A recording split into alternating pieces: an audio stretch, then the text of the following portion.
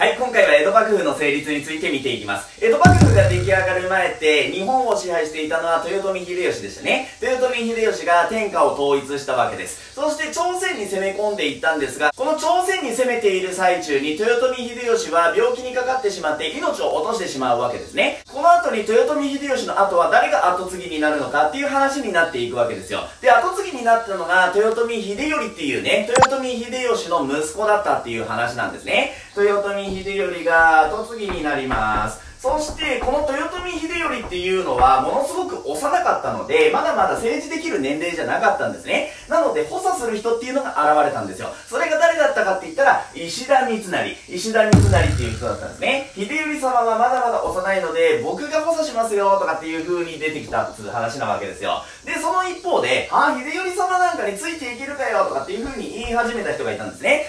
誰だったかって言ったら、徳川家康。徳川家康だったんですね。徳川家康が秀頼様なんかについていけねえとかっていう風に言い始めたんです。そうだそうだ、秀頼様なんかについていけるかみたいな感じになった人たちが、この時に結構続出したっていう話なんですね。そして徳川家康の勢力と秀頼の勢力ですね。えー、この勢力が最後にぶつかるっていう話なんですよ。つまりまとめると、石田三成と徳川家康がこの後激突するっていう話なんですね。この石田三成と徳川家康の戦いのことを、関ヶ原の戦い、関ヶ原の戦いと言います。。これは岐阜県で行われた戦いだっていう話なんですね。ものすごく大きな戦いになったっていうふうに言われています。ちなみにこのね、関ヶ原の戦いっていうのは、天下分け目の戦いっていうんですね。天下を分ける最後の戦いっていうような意味なんですよ。なので、これ勝った方が天下を治めるっていう話なわけなんですね。で、中身はね、そんなに詳しく問われることはないんですが、どんな戦いだったのか、なんとなくイメージは掴んでいった方がいいと思うんで、ちょっと中身の方を見ていってみましょ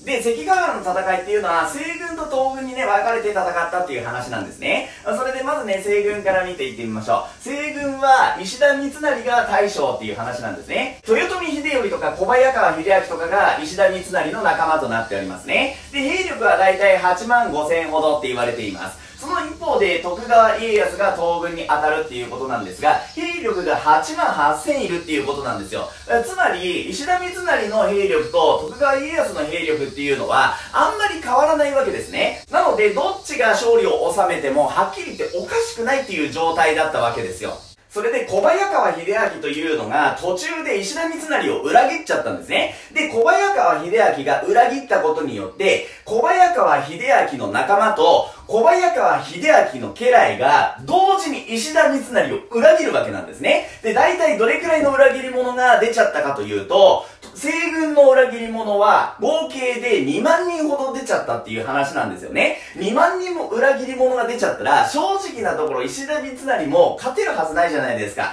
なので、勝利を収めたのは徳川家康の方で、石田三成は敗北を喫してしまったっていうことなんですね。最終的に石田三成は徳川家康に死刑にされるっていうことなんですよ。ね。まあ、とりあえず徳川家康がこのね、関ヶ原の戦いで勝利を収めて、新しく幕府を作っていくっていう流れになっているんですね。そして、この徳川家康というのは、1603年に征夷大将軍というのに任命されます。そして、征夷大将軍に任命されたことによって、江戸幕府っていうのを開いていくわけなんですね。じゃあ、豊臣はどうなったの？っていう話なんですけど、関ヶ原の戦いが終わった段階では、死刑にはされてないっていう話なんですね。大阪城に戻って、大阪で普通に生活をしていくっていうことなんですよ。だけど、この豊臣っていう一族は、もともと天下を治めた人たちですよね。そしてこの天下分け目の戦いである関ヶ原の戦いで、徳川家康にやられているわけなので、いつ徳川家康のことを裏切ってもおかしくないじゃないですか。反旗を翻す可能性性が非常に高いわけなんですね。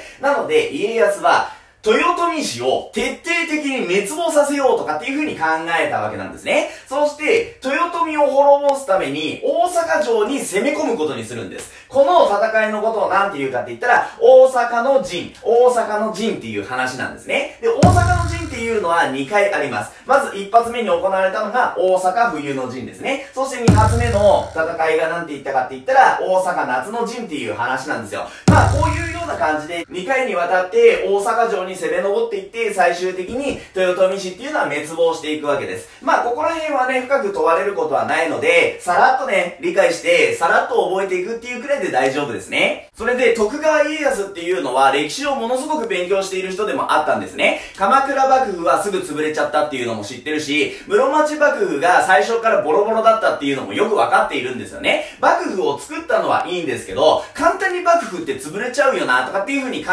えていたんですね。なので、鎌倉幕府とか室町幕府みたいにならないようにするためには、どうしていったらいいんだろうっていうのをものすごく一生懸命考えたんですね。きちんと仕組みを整えねばならんとかっていう風に徳川家康は考えていくわけなんです。なので、江戸幕府の仕組みをここでね、ガチガチに固めていくっていう話なんですね。そして、裏切り者が現れてしまうと、江戸幕府が潰れる原因になってしまうので、裏切る者が徹底的に現れないようなシステムを作ろうとかっていうふうに考えていくっていう話なんですね。なので、江戸幕府が成立した後、仕組みをガンガン作っていくんで、仕組みのところをちゃんと理解していくっていうのが、江戸幕府の一番最初の単元を攻略する鍵になっていくわけですね。それでは家康の政治と幕府の仕組みっていうのを見ていってみましょうね。で、まずは仕組みからなんですが、将軍が一番偉いですよね。そして将軍を補佐するね。まあ今で言うね、内閣総理大臣みたいなものですかね。そういうのに当たるのが何かって言ったら、老中って呼ばれる人たちでした。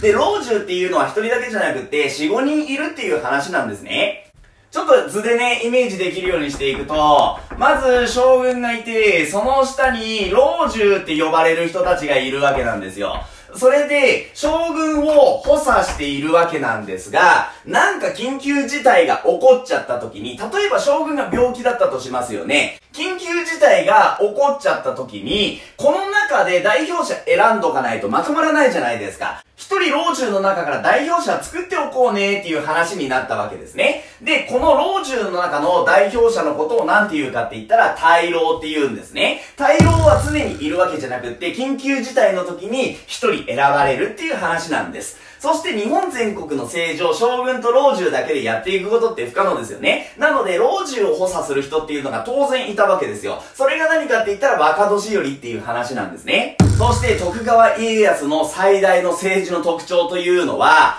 好きな人と嫌いな人に分けて、好きな人は徹底的に優しくしていくっていう感じで政治やっていくんですね。そして嫌いな奴に関してはもう徹底的にいじめていくっていうような政治を行っていくわけですよ。徳川家康が可愛がってあげた大名ってどんな人たちだったのかっていうことなんですけど、徳川家康が可愛がってあげた大名って二ついたんですね。二人いたわけなんですけど、一人目が審判大名って呼ばれる人たちですね。単純に審判っていう時もありますね。審判っていういうのは何かって言ったら、徳川一族のことを審判っていうわけですよ。まあなので、徳川の一族であれば、これ裏切ることないですよね。血が繋がっている親戚だったら、ほぼほぼ裏切ることっていうのはありえないので、まあ審判は優しくしてあげようって家康は考えるわけです。で、さらには、不大大名と戸様大名っていうのがいるんですけど、不大大名のことはものすごく可愛がってあげて、戸様大名のことは徹底的にいじめていくわけですね。この二人の違いはじゃあ何かというと、まず不大大名っていうのは、関ヶ原の戦いよりも前の時から家来だった人たちのことを不大大名って言うんですね。関ヶ原の戦いよりも、後に家来になった人たちのことを戸様大名っていうわけですよ。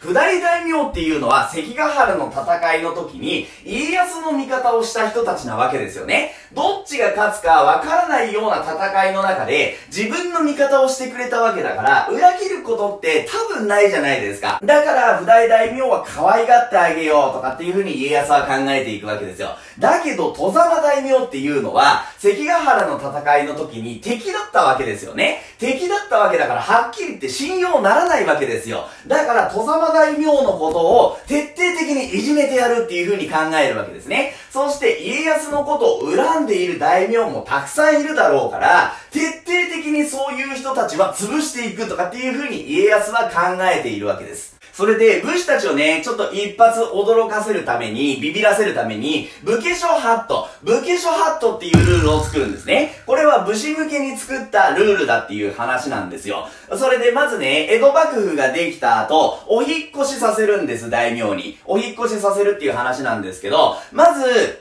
江戸の近くには、不大大名とかをお引越しさせてくるんですね。そして、戸様大名に関しては、江戸の近くに住まわせておくと、反乱を起こしてきた時にやられちゃう可能性があります。江戸がやられちゃう可能性があるので、九州の果てとか、東北の果てとかにお引越しさせるっていう話なんですよ。まずこういうことをやっていくわけですね。で、そういうことをやっていった後に武家諸ハットっていうルールを作って、参勤交代っていうのを行っていくんですね。武家諸ハットっていうルールの中には、いくつかの項目があるんですけど、一番問われるのがこの参勤交代です。で、この参勤交代っていうのは何かって言ったら、1年に1回江戸に働きに来なさいっていうのが参勤交代なわけですよ。で、この参勤交代が絶大な威力を発揮したんですね。なんで働きに行くのが絶大な威力を発揮するのかというと、まず不大大名って、家康の近くに、江戸の近くに住んでるわけじゃないですか。江戸に一回働きに来いって言われてもすぐ来ることができますよね。なので、旅費っていうのはあんまりかからないわけですよ。その一方で、九州の果てとか東北の果てにお引越しさせられた戸様大名は、一年に一回働きに来いって言われると、ものすごい距離を歩いてこなきゃいけないっていう話なわけですよ。移動してこなきゃいけないっていう話なんですね。それで、大名っていうのはお殿様なので、一人で江戸にこうやってふらふらふらふら行くわけないんですね。たくさんの家来を引き連れて行くわけですよ。なので、ものすごい旅費がかかるっていう話なんですね。旅費がかかるっていうことは、お財布の中がすっからかんになっていくっていうことですよね。お財布の中がすっからかんになっていくっていうことは、武器買うことができないっていうことですよね。っていうことはパワーが落ちるってことですよね。こういうような感じで、旅費とかにお金を使わせることによって、戸様大名の力を削いでいって、反乱できないようにしていくっていうことなんですよ。このシステムが参勤交代だったっていうことなんですね。そして武家諸ハットの中には、お城をたくさん作っちゃいけませんよっていうルールを作っていくわけです。領土の中にお城っていうのは、一個だけしか作っちゃいけないよっていうルールを家康は作っていくんですね。なんでこんなルールを作ったかって言ったら、お城っていうのは戦うための基地ですよね。戦うための基地を何十個も作ってるってことは、幕府に攻めようとしてる可能性があるわけじゃないですか。だからそういう風にならないように、お城っていうのをあんまり作らせないようにしていったっていうことなんですね。こんなような感じで大名の反乱を防ぐようなシステムをバシバシと作り上げていくわけなんですよ。そして、京都に住んでいる天皇とかが反乱を起こさないように。そして、西の方に住んでいる大名が反乱を起こさないようにということで、京都の周辺をしっかりと見張っておくような役所を作っていったわけですね。この役所のことを京都諸子大、京都諸子大とかって言います。さらにいろんな仕組みを作っていくんですね。例えばお金を管理する、幕府のお金を管理する、勘定奉行っていうものを作っていったりもしましたね。それとか町奉行って言って、江戸の警察とか、あとあれですね、江戸の政治とかを行っていくような役所も作られていったわけです。まあなのでこの辺はね、詳しく学ぶというよりかは、こういうような組織があったんだよっていうのをさらっと理解して、さらって覚えていくっていう感じで大丈夫ですから、ここら辺ちょっと暗記頑張ってくださいね。そしてね、朝廷をコントロールするためのルールっていうのも作ったんですね。貴族とか天皇向けに作ったルールがあるんですけど、このルールのことを何つうかって言ったらこれですね。なんじゃこりゃって感じですけど、ちょっと読んでいきますよ。